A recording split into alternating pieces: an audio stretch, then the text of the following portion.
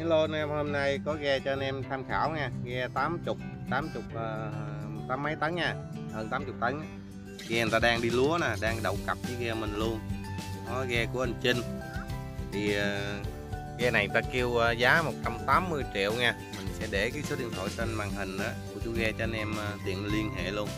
Đang chạy cái uh, máy Isuzu tất lẻ hai máy thủy người ta đang đi lúa người ta giật hầm đồ này nọ người ta cần bán để đổi lớn nha. Thì anh em ờ, nào mà vừa phân khúc á, thì mình alo liên hệ ghe đã lắp mê xi măng nha. Nó ghe dùng sóc trăng. Anh em thấy ghe đó ha. Thận thận ờ, vừa túi tiền mình thì liên hệ ghe chở cũng mau lấy vốn nha. Tại ờ, có 8 80 tấn tám mấy tấn mà có 180 triệu à. Máy thủy máy này mua mới hai năm mấy nha anh em hồi đó nó chạy cái máy 4 gì đổi lại à.